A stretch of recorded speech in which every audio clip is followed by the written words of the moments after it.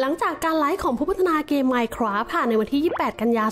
2562 ไบโอมที่ชนะการโหวตจะได้รับการอัปเดตถัดไปค่ะ ถัดจาก Minecraft 1.14.4 เนาะก็เดาว่าน่าจะเป็น Minecraft 1.15 ค่ะ หรือว่า 1.16 เนี่ย ก็คือไบโอมภูเขาหรือว่า Mountain นั่นเอง สิ่งที่จะเพิ่มมาค่ะ มี 3 อย่างก็คือความมหัศจรรย์ของภูมิประเทศ ก็คือวิวของภูเขาแล้วก็จะมีแพะค่ะที่น่ารักมากๆแล้วก็จะมีหิมะอ่อนนุ่มเนาะที่สามารถยุบตัวได้ค่ะ ในการอัปเดตรอบนี้ค่ะ ผู้พัฒนาได้ให้ชื่อว่าเป็น Nether Update หรืออัปเดตเกี่ยวกับ Nether นั่นเอง รอบที่แล้วใน Minecraft 1.14 ใช่ไหมคะ ก็คือ Village and Pillage ก็คือเป็นการอัปเดตหมู่บ้านกับป้อมโจร 1.13 ก็เป็น Aquatic Update เนาะหรือว่าอัปเดตเกี่ยวกับน้ำนั่นเอง ในวันนี้ค่ะ เรามี Nether Update ที่จะพร้อมในการอัปเดตในเวอร์ชั่นถัดไปแล้วของ Minecraft รายละเอียดการอัปเดตค่ะอย่างละเอียดมีอะไรบ้าง อย่างแรกค่ะจะมีการเพิ่ม biome ใหม่ ขึ้นมานั่นก็คือ Soul Sand Valley เป็น biome ค่ะที่ถูก generate ขึ้นจาก soul sand มี soul sand อย่างมากมาย แล้วก็เมื่อเราจุดไฟค่ะบน soul sand ก็จะได้ไฟสีฟ้า มีฟอสซิลค่ะ แล้วก็บรรยากาศถูกปกคลุมไปด้วยหมอกสีฟ้า แต่ทางผู้พัฒนาก็บอกไปค่ะว่านี่ไม่ใช่ biome ที่เหมาะสำหรับการอยู่อาศัยเท่าไหร่นะ มันน่าจะอันตรายหรือว่ามีอะไรที่น่าสนใจมากกว่านี้ใช่ไหมต่อมาค่ะก็มีการเพิ่ม biome Nether Wart ฟ้าแล้วก็ Nether Wart แดงเนาะ ก็คือเป็น Nether Wart Forest Blue ค่ะ แล้วก็ Nether Wart Forest Red ใน biome Nether Wart Forest Red ค่ะ เราจะเห็นว่าต้นไม้เนาะไม้ log นี้ค่ะ เป็นสีแดง ซึ่งเดาว่าบล็อกต้นไม้นี่ค่ะน่าจะเป็นบล็อกของ Nether Wart นั่นเอง เป็นต้นไม้แห่ง Nether Wart โอ้โหความสวยงามมากๆเลย จะสังเกตว่ามันมีแสงสว่างใช่ไหมคะสีแบบส้มๆ ไม่แน่ใจว่าจะเป็น glowstone หรือว่าเป็นบล็อกอย่างอื่นเนาะที่ให้ความสว่าง โซน Nether Wart แดงก็จะมีสีแดงใช่ไหมคะ ส่วนโซน Nether Wart ฟ้าก็จะมีสีฟ้าเนาะ มีการเพิ่มม็อบที่ไม่เป็นมิตรตัวใหม่เข้ามาค่ะ ก็คือ Piglin Beast นั่นเอง แน่นอนว่าชื่ออาจจะเปลี่ยนไปในอนาคตค่ะ เขาบอกว่าม็อบตัวนี้ค่ะจะเป็นแหล่งอาหารให้กับผู้เล่นใน Nether ได้เมื่อเราฆ่าค่ะ ก็จะ drop เนื้อหมูนั่นเอง แต่เนื่องจากเป็นม็อบที่ไม่เป็นมิตรค่ะดังนั้น พฤติกรรมของเขาก็คือจะ aggressive ต่อผู้เล่นเนาะ เหมือนหมูป่าใน Nether ค่ะ จะว่าอย่างนั้นก็ได้ ถ้าผู้เล่นเข้าใกล้ค่ะเขาก็จะไล่ขวิดนั่นเอง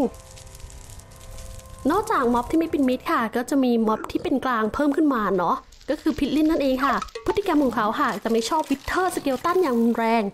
แล้วก็จะมีนิสัยค่ะที่ชอบเก็บทองล่าทองเนาะแล้วก็ชอบล่า Piglin Beast ด้วยค่ะ ถ้า player ค่ะไปขโมย กล่องหรือว่าเปิด chest ค่ะที่เขาเฝ้าอยู่เนี่ย เขาก็จะไล่ตี player นั่นเอง แล้วเวลาที่เขาเจอ Piglin Beast ค่ะ เขาก็จะไล่ฆ่า Piglin Beast เพื่อเอาเนื้อหมูค่ะมาเป็นอาหารด้วยเนาะก็คือเขาจะมีนิสัยค่ะที่ชอบทองคำแล้วก็จะเฝ้าสมบัตินั่นเอง ที่อธิบายว่าเป็นม็อบที่เป็นกลางค่ะ เพราะว่าม็อบที่เป็นกลางเนี้ยถ้าเราไม่ทำอะไรค่ะ เขาก็จะไม่ทำอะไรเรา แต่ถ้าเราไปทำอะไรเขาค่ะ อย่างเช่นขโมยสมบัติเขาเนี่ยเขาก็จะมองเราว่าเป็นศัตรูแล้วเขาก็จะไล่ทำร้ายเราทันทีเนาะ